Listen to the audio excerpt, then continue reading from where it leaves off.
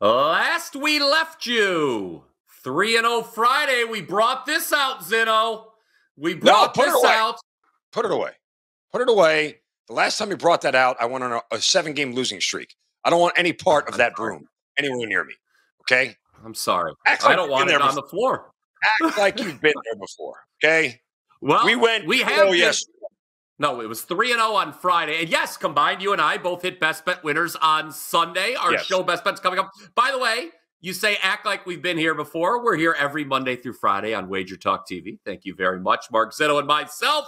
And we are looking to start the week as we are now back in the black for the month of July on the program. We're going to start the week, hopefully, the same way we ended last week. Mark, you are tackling the early game.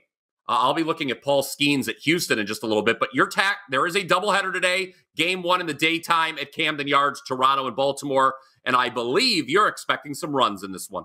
Yeah, I mean, look, it's Zach Eflin's first start uh, for the Baltimore Orioles since being traded from Tampa Bay. Now, a lot of times you'd look to play on a pitcher like that. Hey, you know, he's in a spot now. He's going to a better team. He's in a playoff race. He's a good pitcher. He'll elevate. I don't know if that's the case for Zach Eflin against Toronto. Why? Because three times while with Tampa Bay, he faced Toronto this year, and he has a 6.23 ERA against the Blue Jays. He's given up 12 runs on 21 hits in 17 and a third innings, and the Blue Jays are batting 296 against him. I don't think that the jersey swap here changes anything for Zach Eflin's ability to not get out the Toronto Blue Jays. Um, it's one of those things like if he had one good start, maybe we would give a little pause. But you know, I just I, I don't believe that that's going to be the case here. I think that the Blue Jays can get to Eflin, and they will. On the flip side, Toronto's starting Yariel Rodriguez, who's been a little bit of a mixed bag here um, through his his nine starts this year.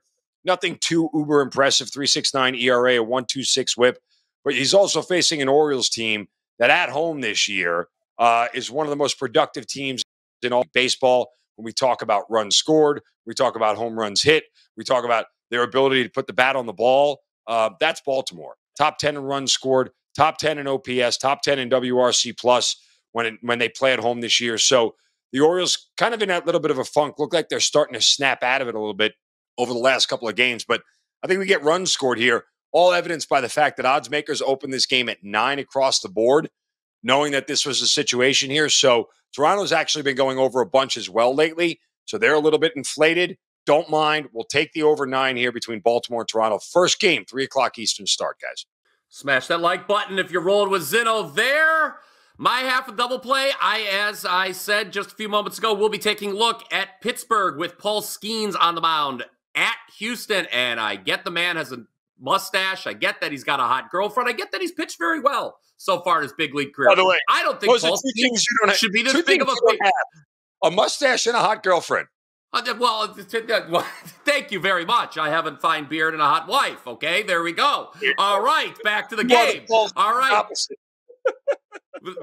Let me tell you something. Paul Skenes, I don't care who, I don't care if I got a mustache, you got a mustache, anyone listening's got a mustache. Paul Skenes should not be this big of a favorite in Houston. The Houston Astros are the third highest scoring team at home in terms of runs per game. Only Pitt, Philadelphia, and Kansas City are putting up more.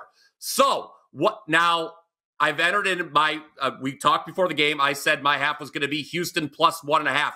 That number's skyrocketing. It's up to minus 144. Like as you were talking, Mark, it just kept going up and up. So we've seen some money on Houston plus one and a half come in on the run line. Why is taking the one and a half, that little added insurance, a good idea? Well, how about this? Skenes has started 12 times, Mark, this year. Half of those games have been decided by one run. I don't care who wins as long as the game's decided by one run. Betting it this way. Also, oh, by the way, Pittsburgh, okay, has won five games since the All Star break. Three of those five wins, including yesterday, have been by one run. So if, if you're ju- if you're still if cool with the juice tolerance there, Houston plus one and a half. I think that's the this is crazy. Skenes, his velocity has been down the last couple starts. I'm rolling with the better team. Houston over the full nine plus one and a half on the run line. Please comment down below with your favorite bets for Monday in Major League Baseball. Oh, by the way, uh, you're getting more of me today here on the channel because I will be with our good friend Drew Martin Betts on first pitch at 11 a.m. Eastern. Yes, everybody loves more BP. Uh, all right. You mentioned, oh, okay. Well, you're a little wishy washy there. I thought we were really friends. Okay. You mentioned both. you were you mentioned we were both off best bet winners on Sunday. Mark, you uh, cashed Arizona in the first five against the Pirates yesterday. What do you got on tap for Monday for the people? By the way, and I fully admit I'm not smart at baseball, but there's nothing that makes you feel better than making a first five bet wins and then watching the team lose the game. You feel like a damn genius. Like I predicted this could happen. So that was the case yesterday for the Arizona Diamondbacks. So uh, good on us, uh, four uh, percent winner. Uh, we'll have one play up on the site, guys. There's a lot on the board today that I'm actually interested in, but uh, we're going to keep this short and narrow here. So we'll get one play up for uh, the clients over at WT.buzz slash MZ. Start to turn it back around after that bad losing streak we hit, guys, but it's all part of it. Just keep grinding away each and every day. WT.buzz slash MZ. We'll have another uh, 4% play here up on the site tonight. You talked about that scenario, Mark, with uh, Arizona having the lead after five and then losing the game.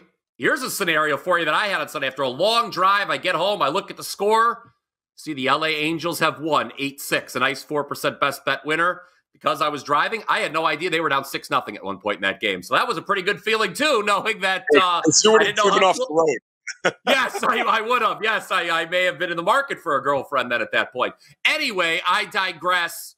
We are heading there. You see it right there. WT.buzz slash BP. Check that out for all my plays on Monday. Let's talk about our show best bet here, Mark. Guardians and Tigers. We're talking about this show off air, and I was like, haven't these two teams played 72 times this month? Uh, turns out 72 is a bit of, uh, I'm rounding up a little bit. They have bet eight times this month. They played two four game series against one another. The Tigers actually have a winning record against the Guardians. If the Guardians don't see this through in the AL Central, it's going to be because of a subpar record against Detroit and the White Sox. But Tanner Bibee on the hill for Cleveland, Jack Flaherty still in a Detroit uniform for now the opposing lineups are very familiar with these guys. You know, it is the third time this month each of these guys will be starting against their respective opponent. And we think that that familiarity leads to some more runs being scored than expected. Yeah, the familiarity breeds contempt and, and runs scored both. Uh, and by the way, final two team, final two meetings between these two teams of the regular season. So they're done facing each other. And I will say this much, guys: if you're going to make this play today, instead of making sure it said listed pitchers must start, just play action. Why? Because one mm-hmm. of 10, if, if uh, Jack Flaherty gets pulled, the line is going to move and it's only going to go north. This total is set at seven, which is insanely low.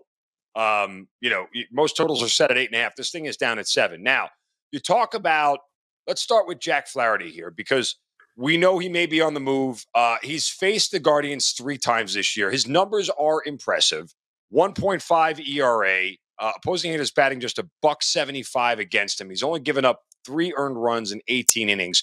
Did allow two home runs against him. Can the Guardians bats get to him the fourth time? I'd like to think after four, the fourth time facing him, that they will. Tanner Bibee on the flip side has not been great against Detroit.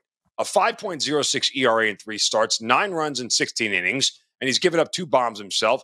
Somehow he's also managed to keep the batting average low against the Tigers to 218. But uh, I just I look at this and go, the fourth time they're facing each other. These two starters faced off last week on July 24th. It was a 2 1 final. The game was also opened at seven and a half. It was bet down to seven. Obviously, the under came in. But I want to flip this here and just say that number's too low. Again, and be cautious. If Flaherty does get yanked because he gets traded, guess what? That total is going to go way up. So make sure you put the play as action, not listed pitchers must start if you feel like this is a route that you want to go. If there's too much variance in it, certainly understand here. But BP and I feel pretty comfortable with the fact that runs will be scored here, especially by Cleveland, who's kind of desperate right now and needs to get back on track. Third time in 19 days that both these guys are facing the other opponent. So over is your show best bet. If you already haven't done so, make sure you click that subscribe button.